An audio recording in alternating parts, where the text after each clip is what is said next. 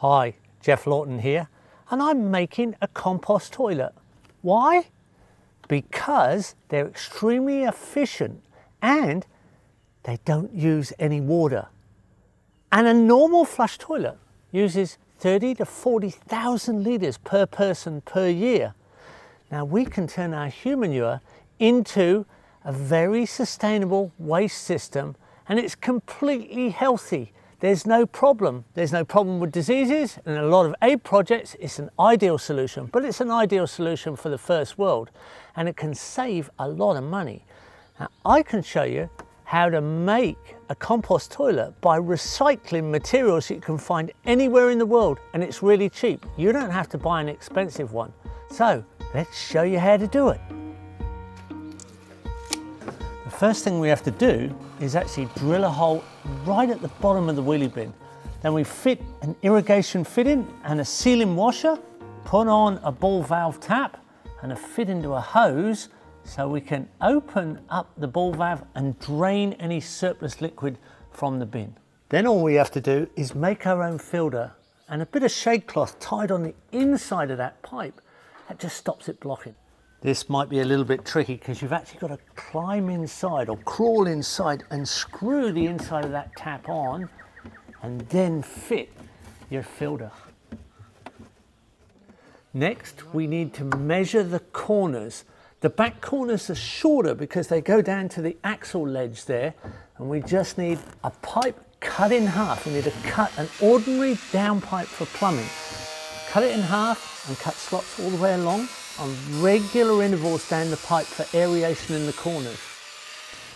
Then we get ordinary strapping. We measure it around the pipe, strap it on with pop rivets drilled straight through the wheelie bin. Now we need to get a grill and shape it so it fits around the pipes on the recess of the axles and on the elbow of the two longer pipes at the front. Now we need a long piece of shade cloth that will wrap around the grill at least once, twice. Then we fold in the edges, tuck that under the back pipes and rest it on the elbows at the front. And we're ready. Now we need to get a second lid and we need to cut a large hole in this lid the size of the compost toilet delivery pipe. This is a band cut out of a recycled inner tube from the car tyre depot. You can usually get them for free. This seals on the tube and goes down onto the lid of the compost toilet and helps make it more or less airtight. And the lid that's attached to the bin is going to lock it down when it's full so it can go through a full mouldering process. Now we just click on the garden hose and we can open the tap and any surplus liquid can be directed to a reed bed like this if you have one. Otherwise, it can go to a gravel trench in the ground with a slotted pipe so all the surplus liquid just soaks to the ground and becomes a natural fertilizer. All we need to do now is tip in 20 litres of sawdust. We're ready to start the system. Purchase systems, built systems, I've tried many types of compost toilets over the years, but they all work the same. Compost is compost. This system is as good as any. And all you have to do now, once it's full, is lock it down, keep it locked up for six to 10 months, and then it's ready. You just empty it and use it again. This is one of the best systems you could use. It's made out of recycled materials. It's a completely waterless toilet uses minimum water and is safe and efficient.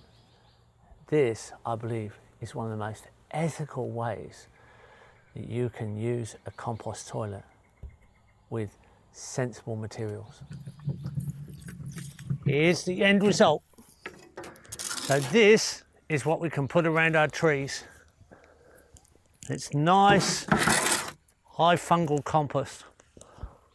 It's got a lot of sawdust in it, or it's got a lot of woody material. It's broken right down, it's nicely aged. Doesn't look like anything it started off as. It's quite safe to handle. Just looks like typical forest mulch. There we go. Put it around our tree. Putting it back a bit. There we go, that's humanure when it's gone through the process and it's aged really well. It smells fine, looks fine. You wouldn't have no idea how it started life.